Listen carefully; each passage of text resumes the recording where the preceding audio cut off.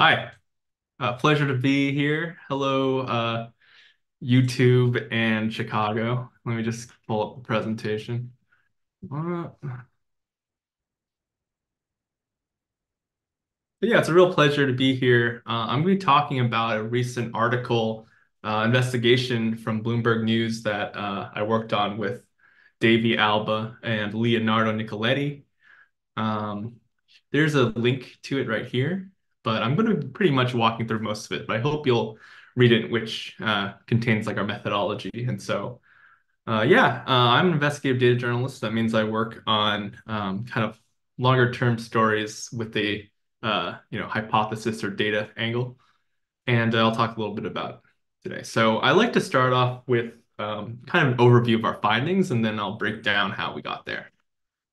So we found that OpenAI's GPT 3.5 and 4 discriminates against names based on race and gender when asked to rank equally qualified resumes. So we basically ran 1,000 rank experiments using um, about uh, 800 demographically distinct names.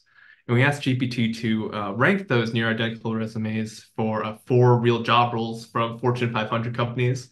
Um, for a financial analyst, a software engineering role, a retail position, and an HR role we found that GPT not only treated these uh, you know resumes from different name uh, groups demographics differently, but the differences were so large that it surpasses uh, adverse impact benchmarks, which are used to identify discriminatory hiring practices.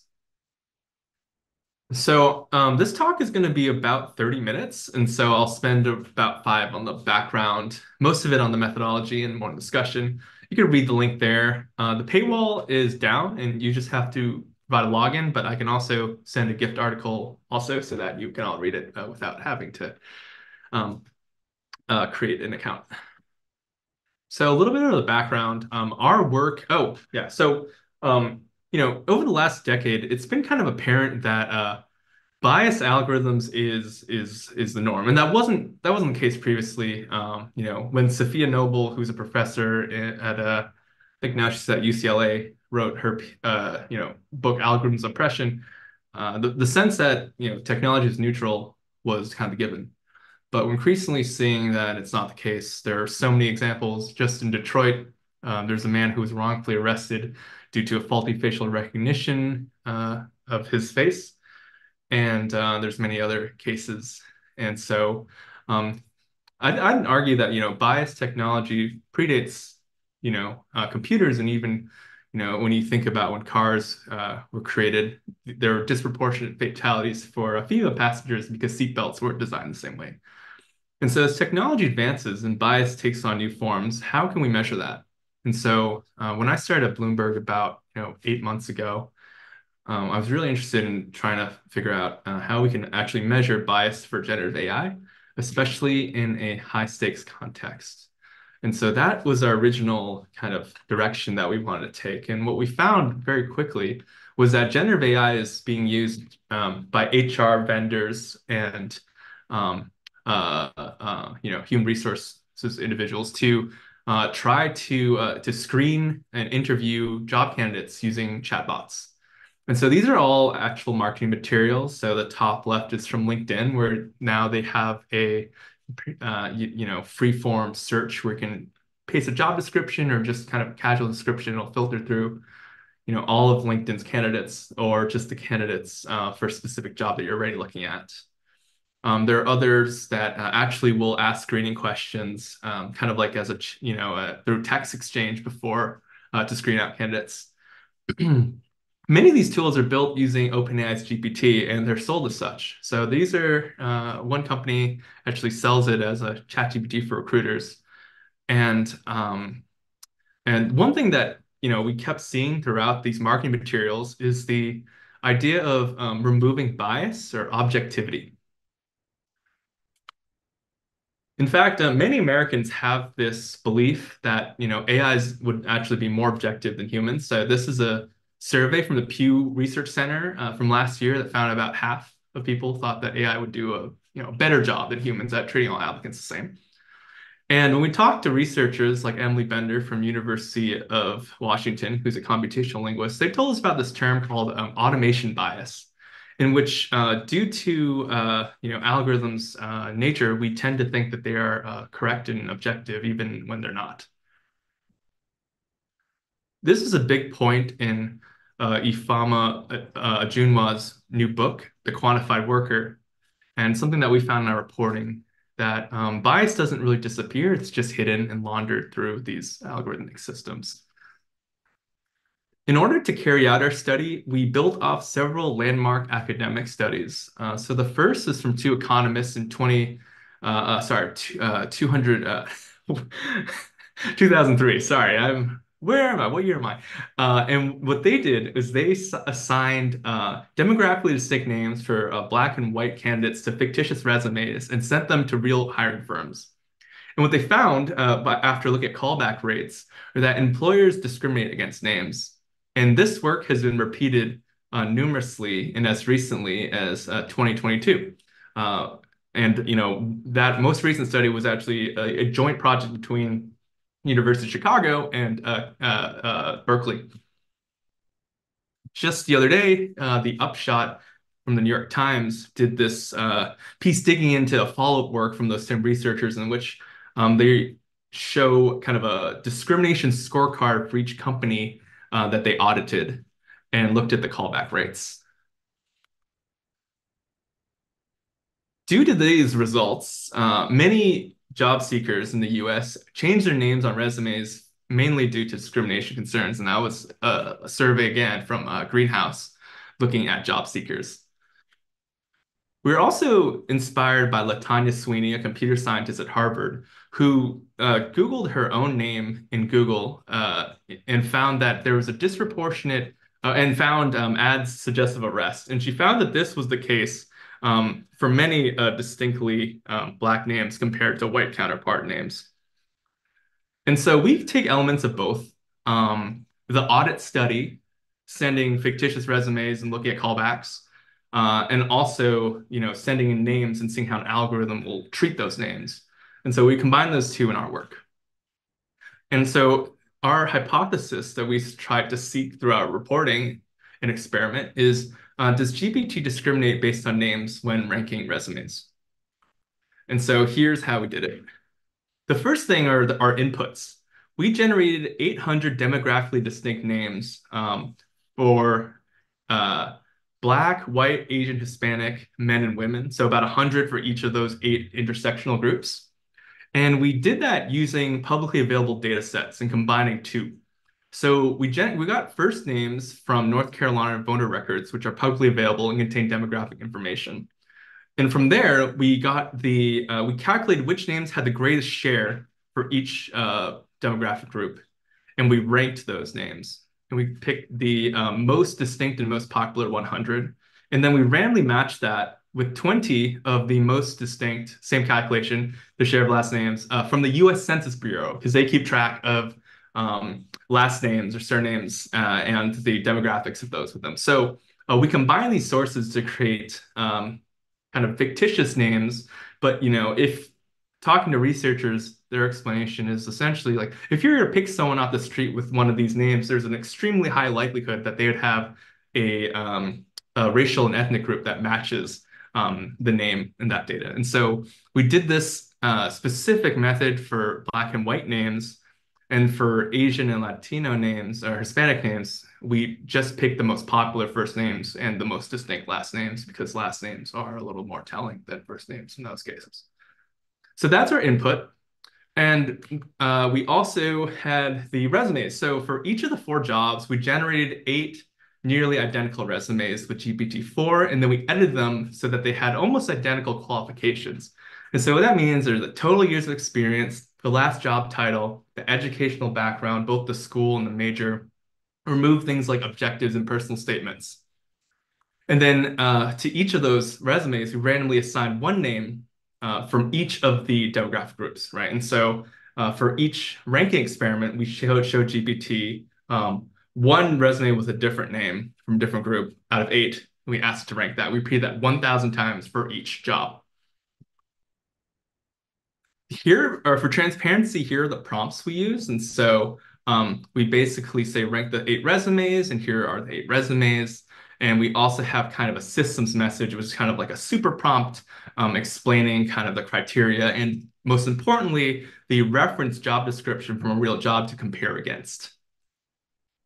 And so uh, we repeat this a thousand times. This is a simulation, uh, including real data of uh, what it looks like. So this left side are who gets top ranked, and the right is who gets bottom ranked. And this is the actual results uh, for a financial analyst. And we were able to aggregate those results and look at how uh, GPT ranked everybody. And so, you know, because there are eight resumes and they're all shown in GPT at the same rate, right? Uh, we, you know, equal treatment would be about one out of eight, right? It'd uh, 12 and a half. And so we compared that threshold to how GPT actually treated um, uh, each demographic group for those 1,000 different, you know, ranking scenarios that we ran. And so for financial analysts, we found the starkest disparities in which uh, names that are distinct to Black Americans were disproportionately, uh, you know, the least likely to be the top ranked out of the eight for those 1,000 runs. And so one question you might have is, um, are these uh, significant results? Is the gap substantial? Uh, and to calculate that, we use this metric that I mentioned earlier called adverse impact, which is used both in housing and hiring to look at disparate treatment, um, aka uh, discriminatory practices.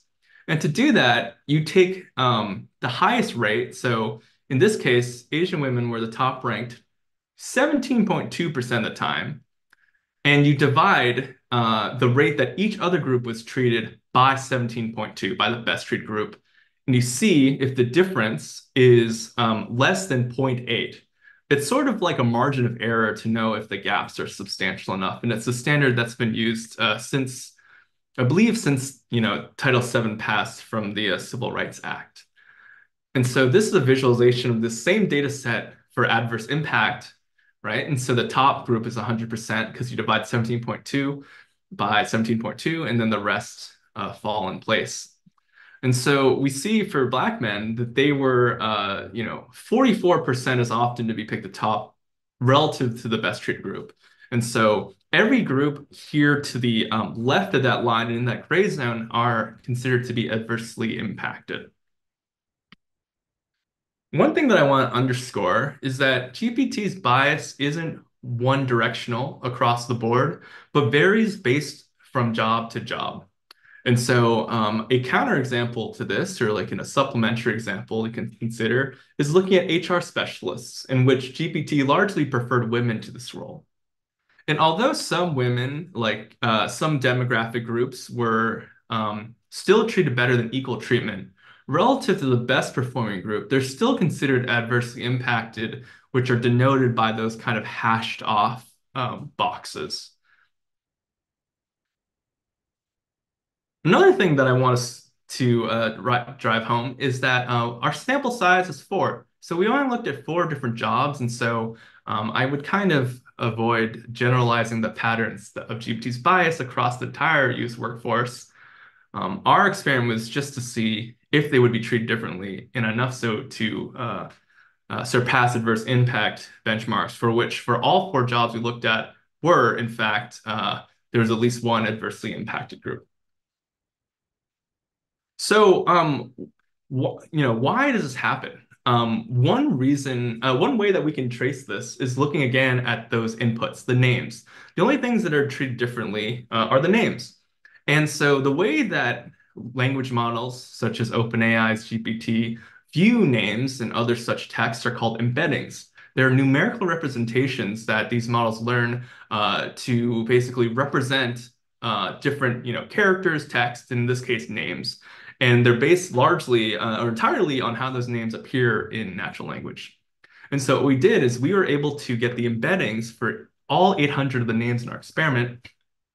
And they first were returned in like, you know, thousands of dimensions, so that's impossible to visualize. But we used an algorithm called UMAP, which is similar to principal component analysis, in which we're able to retain those relationships um, while uh, reducing the dimensionality in order to plot it. And so this scatter chart is of uh, the embeddings of all names. And what you'll notice is that um, across race ethnicity, they are uh, uh, segregated and they're closely clustered within each name. And so um, although this might seem kind of common sense to people who you know are familiar with NLP and computer science, um, these small differences, which could be as small as whatever latent space this is, is enough to lead to statistical bias and differences in how GPT uh, treats uh, different you know, resumes and hiring setting.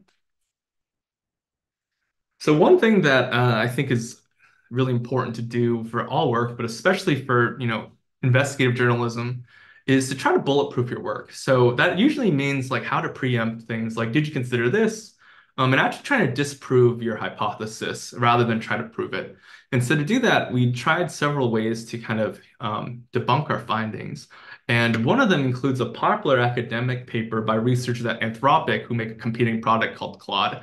Uh, and so what they found is that if you use prompt engineering uh, you can greatly reduce discriminatory outcomes simply by stating that discrimination is illegal.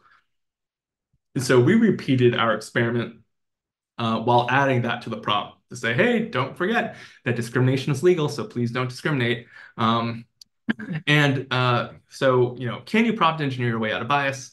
Uh, we told GPT don't discriminate uh, for the financial analyst role, that which did not change the results. We also checked uh, to tell GPT to just straight up ignore names. That also didn't change results. And many readers suggested just simply removing the names. And uh, I'd argue that that defeats the purpose of the experiment since we're purposely doing an audit study to see if names are treated differently. Um, however, in practice, in many HR applications, they do remove names. And I think it's called a blind review. But in any case, all these solutions of prompt engineering puts the onus on users right? So it completely skirts accountability for the creators of these technologies, such as OpenAI, uh, and you know, uh, puts us in the ballpark. And so obviously, you know, as a user, you should be informed, but uh, I really don't think that that quite cuts it. Researchers we talked to, including Abeba Birhane, a researcher from Mozilla, argues that the idea of debiasing is facade. And so um, this researcher has spent a lot of time looking at training data and the bias embedded and how it percolates into systems. And um, this could be no more apparent, uh, this could be very apparent uh, in recent examples like looking at uh, Gemini, which was uh, returned uh, ahistoric results because they had tampered with the generator algorithm to make it more diverse. And so, you know, as a way to, I won't say too much because this isn't my reporting, but it's something that comes to mind. One thing that um, I'm really proud of is our involvement of researchers and academics in this field to bulletproof our work and provide comments. And so we thank Danae Metaxa from University of Pennsylvania and Piotr Sapiezynski from Northeastern. Uh, they both are experts at algorithmic bias and employment practices. And uh, here are our editors, Sarah Frier, Chloe Whiteaker, Seth Fiegerman. Um, all of our data and code, including how we collected it, analyzed it, um, the granular data is all available on GitHub. Um, this is the first GitHub repo that Bloomberg has published in, I think, three years. So I, I worked at the Markup previously, which is a nonprofit um, that focuses on data journalism for tech accountability, and we do this every time. And so um, we're trying to, you know, bring this practice to larger newsrooms and make it common, um, especially in this kind of experimental journalism in which we're actually, you know, conducting an experiment. What's really neat is that uh, independently, uh, academics approach the same problem.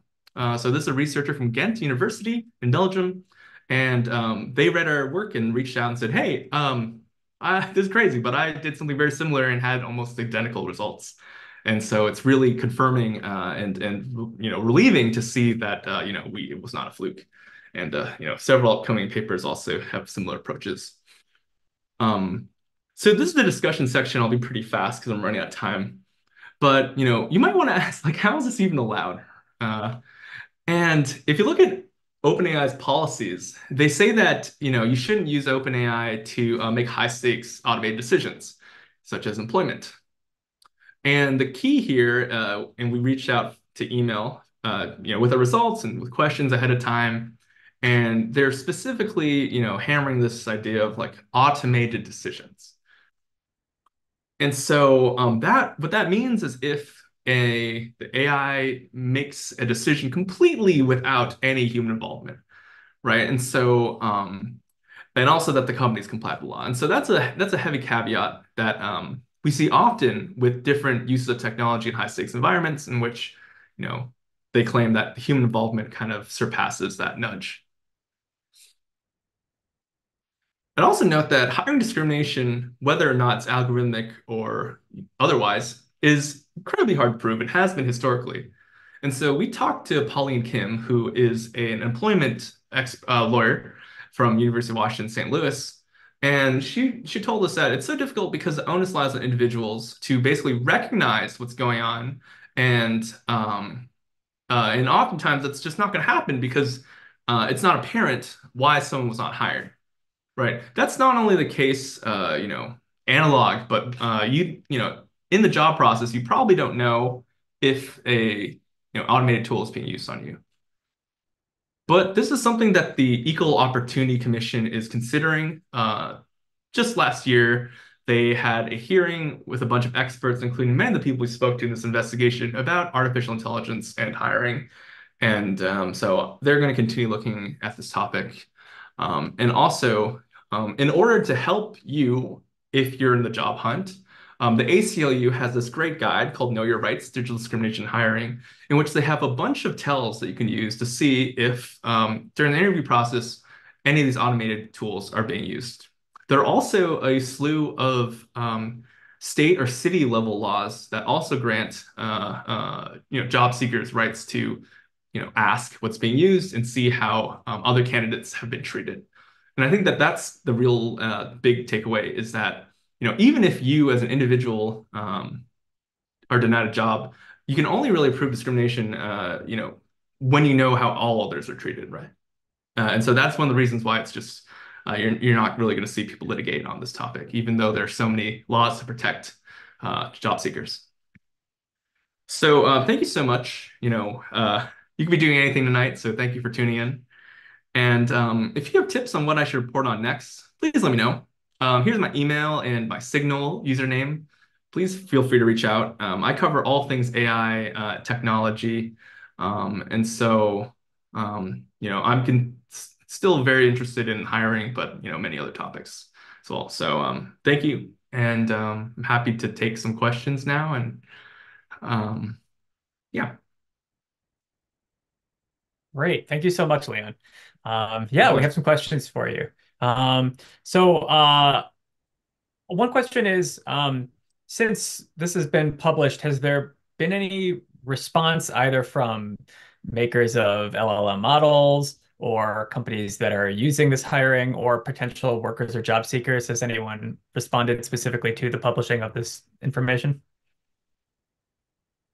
Um, not yet. So this was just out for like a month, and I'm still waiting to hear the impact. Uh, there's sometimes pieces where I have immediate impact, but uh, you know, I'm still ear to the floor, waiting to hear uh, how this how uh, this is being received by others. But um, as far as all the companies uh, involved that we reported on, they all gave us statements like when we reported this, and then uh, swiftly have been uh, you know trying to you know ignore its existence. So, but thank you for that question. Sure. Yeah. Um, a question from the audience. Um, uh, given that this, you know, is sort of data-driven experimental research and reporting, um, do you or other journalists at Bloomberg or elsewhere have plans to uh, look at real-life examples of specific implementations of GPT in hiring? Oh, I would love to. Yes. I mean, the difficulty goes back to what Dr. Pauline Kim says, and just like finding the proof and evidence that these systems are in use are very difficult, and attaining the results and the data is also extremely difficult, right? And so, in the case that a you know public agency uh, might be using a technology like this, like that's something you probably FOIA for. Um, but for the most part, this is being used, uh, you know, by private industry, and so we're unlikely to find results from that.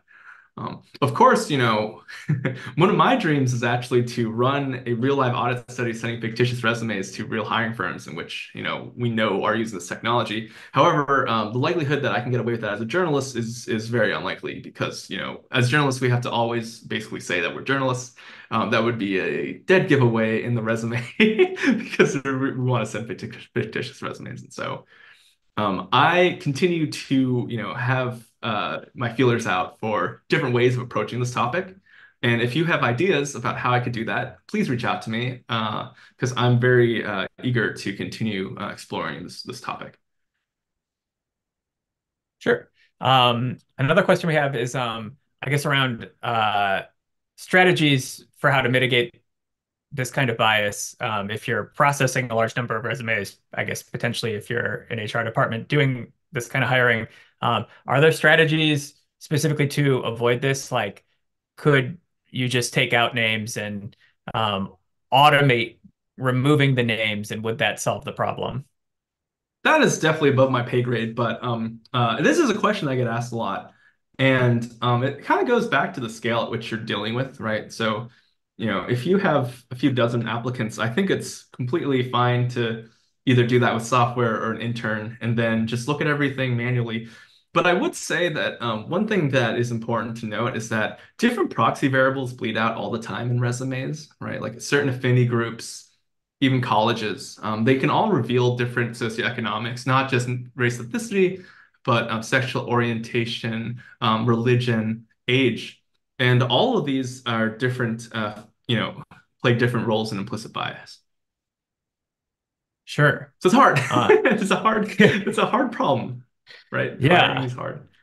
Um, this also is um, diverging a little bit uh, from the specific data in this, but do you do you have information or or uh, an idea of you know related information on how virtual video interviews are handled internally by recruiters uh, or or pre-recorded video? Oh yeah. So if your interview is being pre-recorded, there's almost a hundred percent likelihood that some sort of algorithm is being used to analyze it after the fact. Um, there are um, they're kind of like sentiment detection where they they like look at your tone and your facial cues. And so, you know, if your video is being recorded, I would just ask like how it's being analyzed and if they're retaining it. Um, you can always ask for accommodations for different interviews. And I think most laws, uh, at least some local laws, um, I think the ACLU report is a way better resource, talks about um, how you have the right to accommodations. And so, um, yeah, let's just let's just quickly go back to that. So I think I like I show this, but I didn't really talk through. So like anytime you're asked to record, um, and so this is all ACLU. This is not my reporting, um, but I, you know, I to trust ACLU. So anytime you're asked to record a video or voice clip, um, you know, there's probably a system at play. If you have to deal with a chatbot, if your application is quickly or automatically rejected, tests and games um, are more common now, and those are definitely running algorithms to assess kind of judgment and other such latent qualities of person. Um, uh, yeah, and if you're you know sent to another website, then that's also a flag. So these are all things to keep an eye eye out for. And uh, you know, if you are uh, in the interview process and experience any of these things, please let me know. Uh, please let me know where you applied to and what you experienced, because there are a handful of vendors that make all these tools. Um,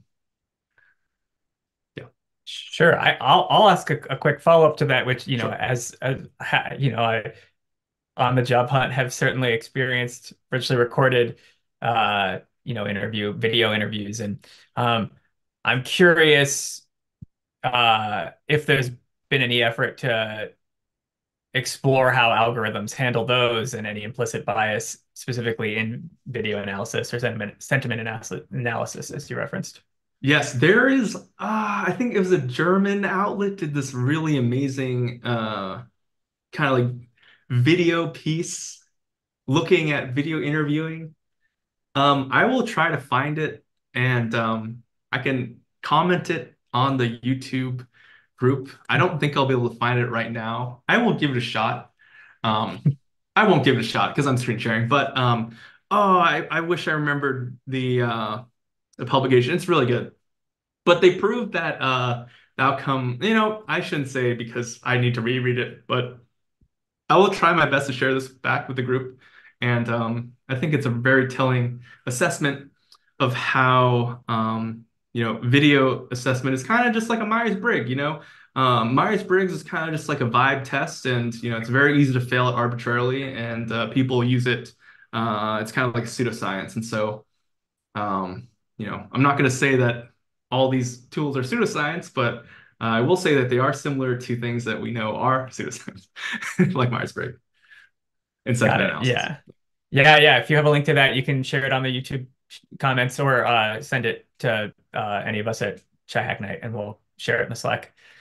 Um, uh, another question from the audience. Um, so, given what you were saying about uh, like affinity groups and other uh, demographic information on a resume, would it be reasonable to assume that uh, ChatGPT or other automated algorithm-based hiring um, would be similarly biased or discriminate against, for, say, for example, an applicant who had attended a historically black college? So, uh, you know, I, I can't speculate since I haven't looked into it, but um, I think what our study shows is that the sensitivity to a name alone is enough to push, uh, you know, disproportionate treatment to to groups consistently. And that's after we controlled for all the other variables. But there's certainly latent information in all those other variables that also will, you know, lead to nudges in certain directions. And so um, some great follow-up work for, you know, the public out there is to repeat this, but, you know, maybe keep the names the same and change things like colleges, right? Uh, and other such, uh, you know, additional tidbits of information because by fixing some variables and you know looking at difference to the others, I think that's how you kind of narrow in on the the influence. And so um, these kinds of kind of isolated audit studies can tell us a lot about how these decisions are made, even though they're you know highly idealized. But it's enough to you know show the you know the the possible effects. So I think that they're valuable for that reason. Sure, uh, and and given that your uh, source code is available. Um, I suppose one could do that. Um, yes. for, for, um, speaking of, um, uh, you mentioned open sourcing the code and making it available. Um, are there other practices from the markup as kind of a specialized outlet or that uh, you've used or encountered elsewhere that you'd like to see adopted at other outlets when covering tech and algorithms? Yeah, um, I think one is being really clear about the methodology and um, how you count things and you know the the the inputs, right? And so oftentimes there are charts that are gotten from data vendors, and you don't really know how that data is collected, if it's done you know ethically or with consent, um, or what it really means, right? And I think that oftentimes um, we use kind of proxy variables to um, look at an outcome or you know categorization schemes to uh, you know talk about something like let's say like fake news or um, you know, disinformation, right? So these are all labels, but you should really ask how that label really aligns with what you're looking at. And I think a lot of what I do is spending time to make sure that, you know, my methods and the words that I use are really aligned with the data that that we're looking at. I should also add that, you know, if you're curious about um, how to do these investigations, I have an online uh, resource that I work on with um, an academic named Piotr who uh, reviewed this article called inspectelement.org. And um, it includes kind of how I approach these investigations, like the questions that I ask, and also um, how to, you know, build your own data sets, which I think is one of the most important keys to um, asking these questions, right? So like a lot of open source data sets are helpful, um, but many of them uh, are created with a purpose that maybe won't cover a very important question that you're interested in asking. And so being able to, you know, find your own data sets and ask those questions, you know, from scratch is extremely powerful and um, something that I hope not only journalists will do, but other, you know, civic technologists, public interest technologists who just want answers and have, you know, a little bit too much time, like me, uh, um, or just curious. And so, um, you know, this is our first post is about finding undocumented APIs and uh, it includes you know case studies like the one I walked through, and you know why we use these tech these tools, and then you know a tutorial about how to do it yourself. And so um, you know if you're curious about you know the underlying you know you know techniques that I use, um, please check this out and you know let me know what you think if it's helpful. Um, I'll I frequently you know I was actually in Chicago last year giving this exact tutorial at a conference, and so um, you know people get a lot out of it, and I hope that you all will too if you if you you know are interested. Awesome. Thank you for sharing that resource. Um, on uh, the similar topic, um, was a question. Um, uh, how long did it take you to perform this investigation and, and do this study? And, and then, as kind of a follow-up, given what you've produced and what's available on GitHub, uh, you know, how long would it conceivably take to replicate the study, but with some different variables? It took about it took months, so somewhere between three to five months, I'd say, because um, it's hard to gauge because sometimes we're waiting to hear feedback or like get approval to do things. But um, I'd say it's about like you know three to five months of full time from me and you know Davey, and then Leo spent um, you know you know you know two months of his time or more to create those uh, beautiful graphics, and so. Um, but you know to replicate it, I think you know you could do it quite quickly, right? Like we have the names, um, you know, if you want to take names, so we have the resume templates. Um, so I think we have like the blueprint, and so I, think you could you could you know you can get that up and running in a few hours, and you could you know I think you know getting something up. You know, as I'm sure many of your coders here, and you probably can sympathize that you know getting code to run kind of well can be done fast, but like being deliberate about you know what it all goes towards and making sure it's the right application takes a lot longer, right? And so I think a lot of it is um, time spent like making sure that you know again what we're measuring is what we think we're measuring it's aligned and that it you know as reporters that it follows what our you know interview subjects are telling us and what we're not just you know seeing what we want to see so um yeah i think you could if you take a look at the github um yeah let me know if it's useful and you know, i'm happy to answer questions i love to see it Sure. build on um, work yeah, a question I had was, have you had a response to that GitHub being available? Are people looking at it? Are people engaging with it? Oh yeah, I mean, I, I saw a few readers be like, I didn't trust you, and then I saw like GitHub, and it's actually pretty good. Now I trust you, and that was really funny to see. Um, uh, I'll also say that having a methodology um, is nice. So like at the markup, we'd have like 30 page methodologies. Here, it's like a one pager or maybe even less. But you know, part of the story, you know, which I hope you all have the time to dig into because there's so much more in it, um, is actually about the methodology and our choices. And I think having that be part of the narrative is really important. Um, and I think that's something that I think we should all think about as people who are trying to, you know, communicate complex topics, right? About how to, you know, combine storytelling, right, and the technical bit at least of what people need to know and uh, and you know visuals and all that uh, to to really communicate it. And so that in itself a challenge that I think is really worthy uh, to to you know invest time in. Yeah, that's great. Um, uh, question from the audience: um, Are there any plans uh, to look beyond the the four roles you looked at, and are there any roles you would be particularly interested in looking at? Yes, I mean, I think off the bat, um, well, I'll say that we don't have plans on running this in a bigger sense. Like as journalists, uh, you know, we try to to start the conversation or, you know, end a conversation. In this case, I think this is a conversation starter. Um, but I hope that, you know, this template can be used and you can find, um, you know, dozens of jobs to look at.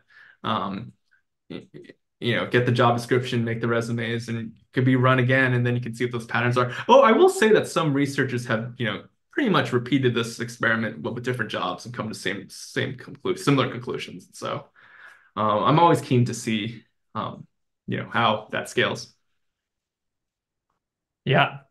Um, we have an audience question. Um, uh, do you get the sense that there is you know, interest or demand for a tool that makes it easier to test this kind of bias in different models uh, across different situations?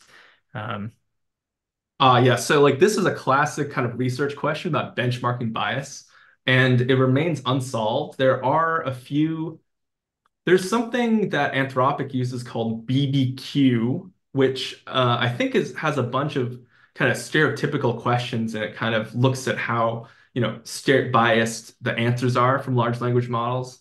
And so I think that that's an active line of inquiry, uh, definitely in the academic field and likely by the creators of these models. Um, But I think the the difficulty with bias is that there's so many different kinds of bias. And what really matters to me is like outcomes and like how that bias might affect someone.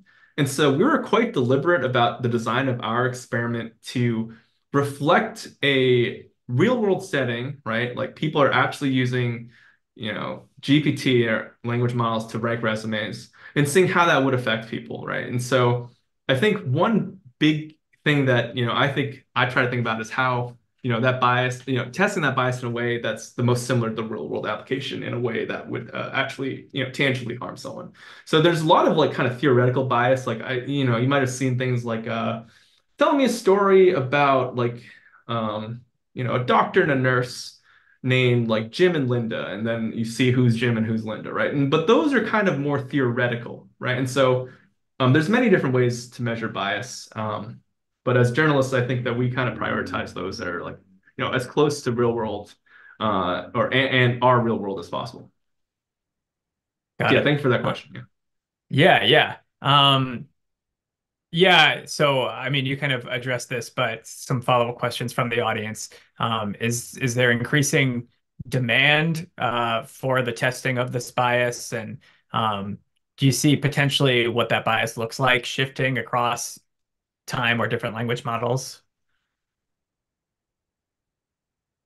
Not specific to language models, but there is a cottage industry of algorithm auditors that's approaching, uh, that is like growing, especially in uh, jurisdictions that have these kind of like localized laws about, you know, um, uh, like AI and hiring or AI and fairness. And so um, I I don't really remember. I think the demand is growing. Uh, but what's I think important is to make sure that um, that demand is addressed uh, in a way that you know actually you know doesn't just rubber stamp things. But you know I you know shouldn't go into you know conjecture and opinion. But uh, uh, short answer is uh, I do think uh, it is growing for uh, better or for worse.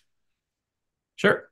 Um, yeah, a question I had is, you know, uh, if there's evidence or you know published um, research and studies going back so many years about historically biased hiring um, and you know LLMs like ChatGPT are built off of essentially scraping existing data. Um, is there a strategy that if one is making an LLM, one could do to avoid repeating the bias in the existing hiring data? So, you know, I think that this is assuming that um, bias is like a one-to-one, like, you know, you have bias outcomes in hiring, the system will reflect that. But I'd argue that um, bias is deeply embedded uh, in many ways. And for the scale of data required to train these systems, I don't think you're able to curate it so perfectly in which you can kind of erase those deeply ingrained biases uh, mm-hmm. from the training data it uh, just it doesn't seem feasible, at least from what I can imagine, uh, the scale necessary to to build a technology, and you know the source of that text, uh, that data. That's interesting. Yeah. Um, yeah. Uh, wait, uh, a question. Um, if you're part of a group that you know you think might be uh, adversely affected um, while trying to apply for a job. Um, uh, well, there's a question. Um, is using a large language model to help you less effective than if you're not adversely framed? Uh, I, I don't think I understand the question. Yeah. Um, Sorry. So I think, yeah, yeah, yeah. Uh, I'm I'm reading this audience question here. So um, if you're if you're part of a group that's adversely affected um, in the context of ChatGPT hiring, um, uh, I, I, suppose one version of this question is, what can you do about it? Um, and, and, and, another question is, um, uh, if you're trying to use ChatGPT um, to apply for jobs, which I've you know personally seen recommended you know, use ChatGPT to make your cover letter, use ChatGPT to uh, format your resume to fit this job description, um, how might the bias play out there as well? Uh, let, let me answer this one time. So, yeah, you know, how you might be affected, I would probably default to that ACLU um, digital discrimination uh, handbook to see uh, the kinds of again the questions you can ask, and uh, it, there's also a link to um, state level laws that you know could and state level laws that could apply to you, which you know could afford you uh, you know different lines of inquiry. Um, you know, another thing that's you know lo more low tech is just you know being organized with, you know, if you have colleagues who are also uh, or friends who are also applying the same job, just job, just hearing about their experience. Um, but again, it's really like the scale at which this operates is really hard for individuals to uh, to have kind of um, agency over, which is unfortunate. Um, to the other side, the question of you know using you know generative AI to to like help um, this is an endorsement, but I know that there are, you know, tech companies that um, do that. They like help write job descriptions uh, for people hiring. They probably also help you, you know, write resumes, but um, it's really hard to say, right? Like it depends on where you're applying and what systems they use. If they're screen, you know, mo a lot of times if you're applying online, they'll screen for keywords. It's called a Boolean search that's old school and that's still kind of the main thing that's happening and they're searching for kind of like um, skills or you know other such things and so um, there's many conspiracy theories about how to kind of like hack your way through that. And i don't know you know many you know recruiters we talked to said that you know they're all kind of fake. So i mean the advice that i'll give you if you're like and this is my personal opinion is like if you're looking for a job, the, the best way to get on someone's radar is to meet them in person. And so, you know, events like this group um, and others where there are people who might be presenting or, um, uh, you know, might be there just to meet them and talk to them and see if they have, you know, what they do. And so, in, in my past, you know, especially when I was starting out, like I got my like first or second job like by meeting the person and then um, I think so. I think that's the most effective. It's really hard given the, the you know the volume at which um, you know certain jobs get, and so then they have to use automation, or they say they have to use automation, and so um, it's, it's just a very difficult. Uh, it's, it's hard out there. yeah. Uh, well, thank you so much, Leon, for the presentation for answering all these questions. Uh, really appreciate it.